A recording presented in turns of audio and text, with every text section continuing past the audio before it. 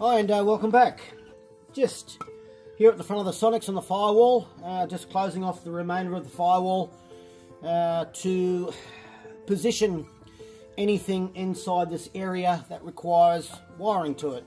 Um, and the reason being is that um, I have thankfully found someone who's going to help me with the wiring design and subsequent wiring looms and lengths.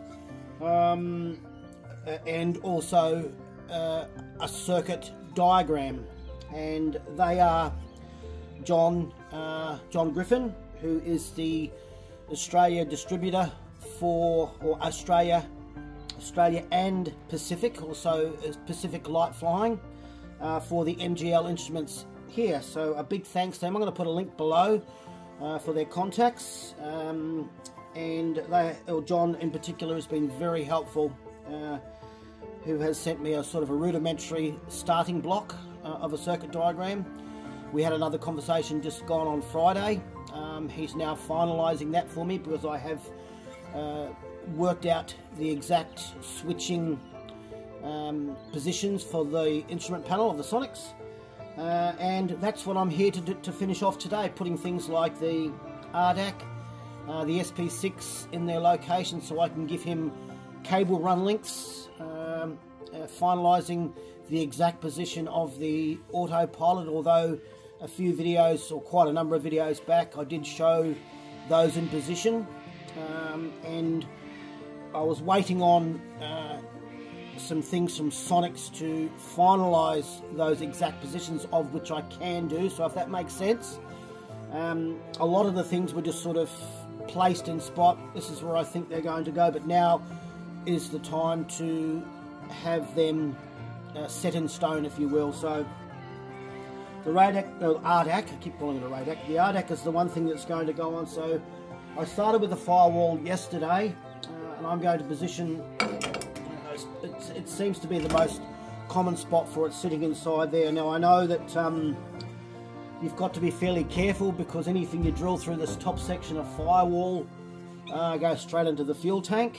Uh, so what I've done is I've just left a couple of rivets out on this point and a couple on here and I'm going to make up a, a little sort of standoff bracket which will position this. Uh, I know, I think uh, Gavin positioned his over here as well as doing the turbo uh, coolant catch can.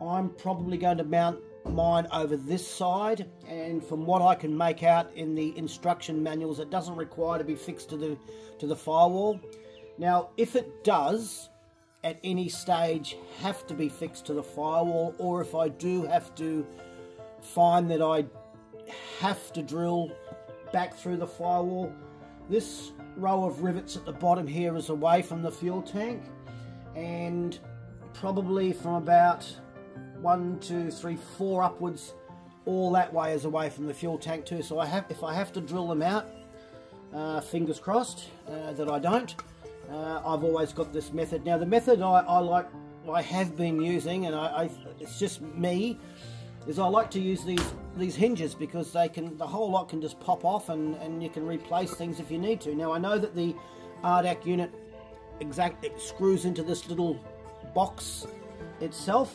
um, but um, you know I've got to modify this box if I'm going to position it on these hinges by cutting these two little tabs off. So uh, that's why I've, I've, just removed all the circuitry out of it for the moment. So just to recap uh, I am very thankful to Asia Pacific Light Flying who are the Australia and Pacific uh, area MGL distributors been very very helpful now look just let me just digress for a second every time I talk or email these guys I get them both confused one's John, one's Paul. It'd be pretty easy to remember that, but the problem is they're brothers and they sound identical on the phone, and I get them mixed up all the time. I feel really bad, so if John happens to be listening or if Paul happens to be listening, I really am deeply apologetic for, for screwing their names up every time. So look, let me get on to mounting this, and uh, I'll just see how this uh,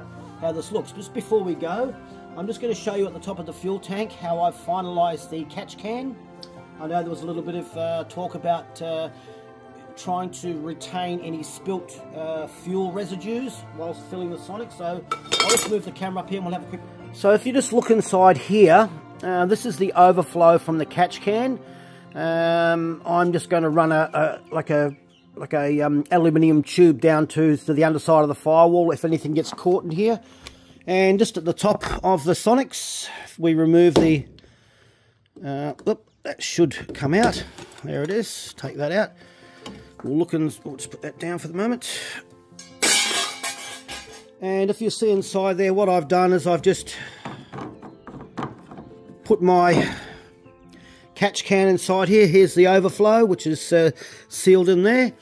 This is just some um, high temperature RTV. It's about the only thing I can think of to use inside there. Uh, I'll give it another a second bite of the cherry later on, but um, I think it's worked out okay. Um, I mean, you know, you don't really want to spill any fuels in there anyway, but it's just there as a contingency. And that just sort of pops out through the firewall over here. And I'll just put, whoop, there it is. It pops out through the firewall over there and it just uh, sort of, you know, go straight on the ground, I guess. So uh, that's that section of it. And I'll get away and I'll start to, so basically what I'm going to do here is I'm going to make these removable. There's the two hinges. This will be on a bit of an angle sort of going down. Uh, this will sort of come on an angle and then it'll be flat. Now the hinge will be on an angle but the aluminium bit that I'm going to be fixing the RDAC box too will be will be flat. It'll be face fixed either side. So let me just sort of get a little bit more done and we'll come back and hopefully it'll make more some more sense. Okay, I've completed all of the firewall. Uh, put some RTV around uh, the um, overflow for the uh, fuel catch can. Um, happy with it. This is re the RDAC is removable um, and um, just done it with a couple of hinges uh, left over. I love using these hinges. They're just great for uh, for um, removing things and also fixing things. So um, able to do it without uh, drilling holes in the fuel tank. I hope. Uh, but um, anyway, we'll just zoom the camera and have a quick look.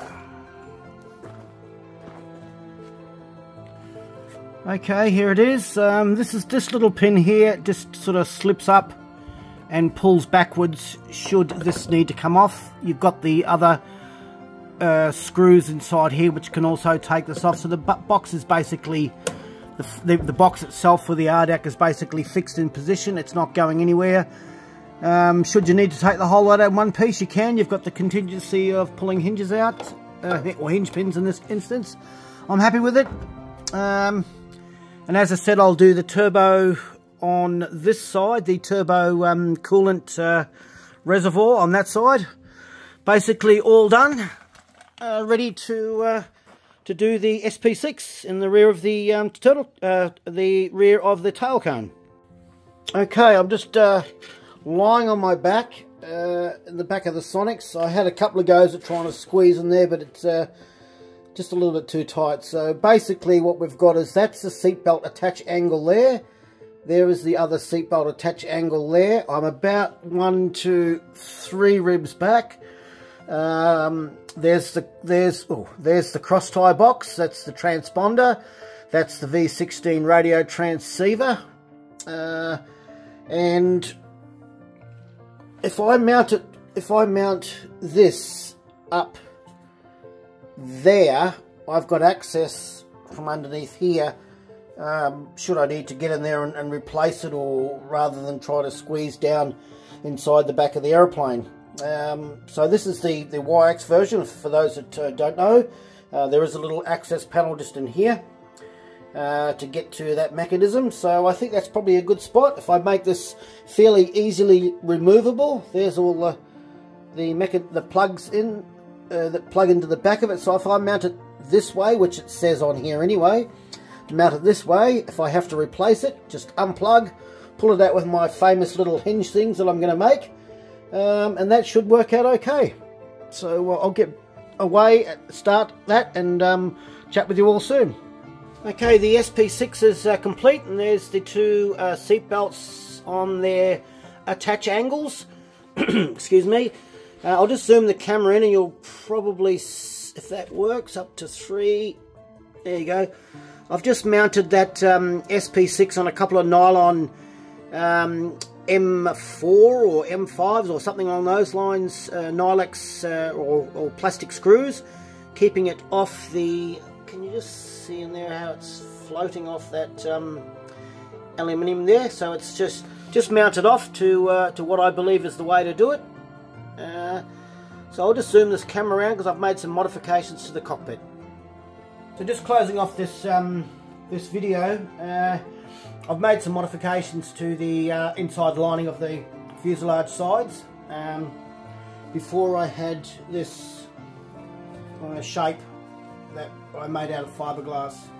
I think I was overcomplicating it um, and although I was trying to convince myself that it wasn't intrusive, uh, I, I think what got me in the end was that I was just way too overcomplicating it. So I've kept the same design, kept the uh, the red and black. Uh, I think it's uh, a much better. Uh, well, I hope it's much better. Okay, I think that's uh, way better. It's I've still kept that that D shape that allows this rudder cable to run all the way through behind and out the back to the mixer control. Uh, the seats are easily pulled up as well and, and all my cabling from the rear of the uh, turtle deck can come through still as planned. So nothing's really changed. I'll just try to turn this camera around. Hopefully you can see this side as well. So uh, I think it's uh, I think it's way way way better. Yes, it was overcomplicated. Yes, I was stupid for doing so. Uh, but hopefully that gets the approval of all the Sonex builders and other home-built aircraft builders out there. Hope you enjoy. Talk with you soon.